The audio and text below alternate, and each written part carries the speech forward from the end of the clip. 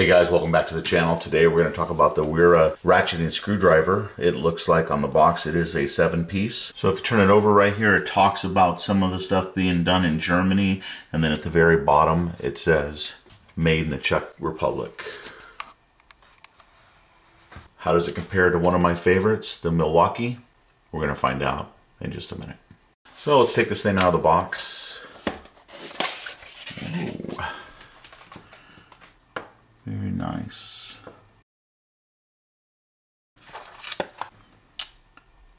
Enjoy, you are a tool rebel.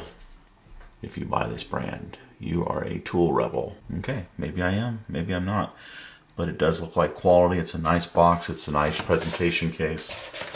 I do appreciate that. But even more, I appreciate a quality build product. The grip handle itself is very comfortable. On here, you have the adjustments to, they say, turn it to the left by this big middle piece here. So then, oh, they were right. So it's exact opposite of what the Milwaukee is as far as when you turn it to the right, it turns to the right, and this one will turn to the left. So that's worth noting. It's the opposite. And when you go to the right, which is going left on the middle section here. Now you can turn to the right.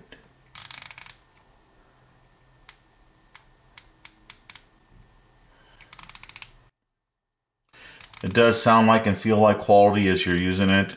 I think the resistance going backward into the clicks is a little easier possibly than the Milwaukee, but not by much.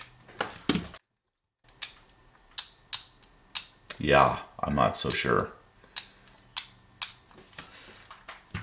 I thought it would be, but uh, if it is, it's not by much. Anyway, probably good enough for any normal person to be using it at, at home as a DIY ratcheting screwdriver. I would think this isn't a problem. This thing is going to be about $48. Uh, retail price on it is close to 70 um, You can find them on anybody's uh, links to try to get it into Amazon for about 48 bucks. So if you're interested in that, I'll ask my son if he can put a link down here for you underneath this video and see if we can get the Wera ratcheting screwdriver to you for about $48 through Amazon. That's how I bought this one. Again, retail customers on these tools, guys, bought a whole lot as we were going in. So it looks like it's got about a quarter inch driver on it. Okay, we press right here at the top and it just pops open. So that's cool. I like it that it just pops open. So then, oh, so they're the little ones. Just the little guys on this one. So that's another big difference. You just pull them out. They come out fairly easily. Six, and that looks like it. Pushing it down, locks it in place. So again,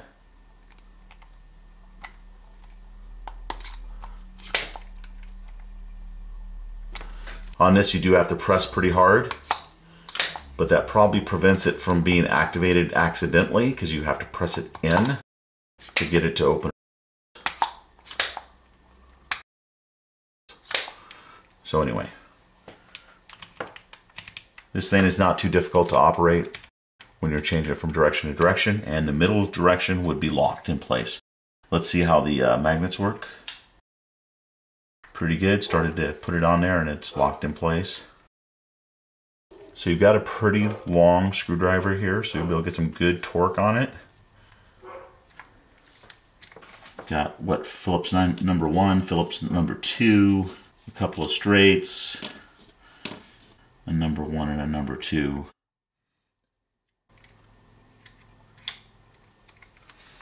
So yeah, the magnet works well and um, I mean, it works so well that it's a little bit difficult taking them out, which is good. Because my biggest thing is I don't want them falling out. So if you're working on like uh, deck screws or something like that, you can have that.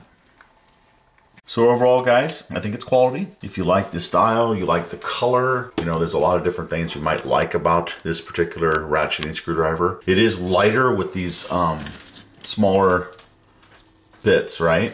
um, as opposed to, you know, these are heavy for the Milwaukee.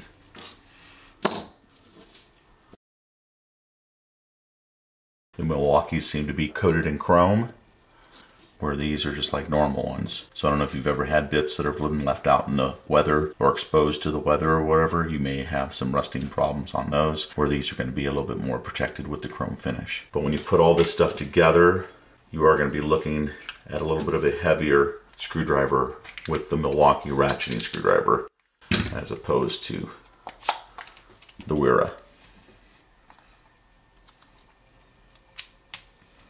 I haven't put these back in before, so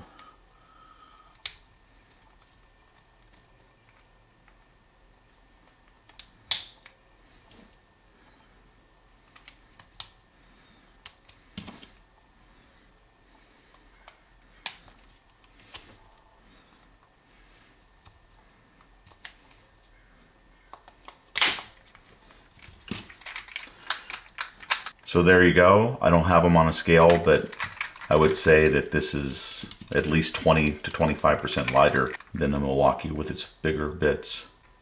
The Milwaukee also costs half as much, less than half. That completes this video, guys. If you like the Wera, you like products that are conceived over in Germany and uh, maybe built in the Czech Republic, that's fine. $80 retail is really bad. It's, it's kind of high, in my opinion. If you can get it for $48, which is what I did, then I think it's, uh, it's doable at that. Thanks for watching the video, guys. Remember to like, share, and subscribe to our channel here on the Legion of Tools, and we'll see you guys on the next video.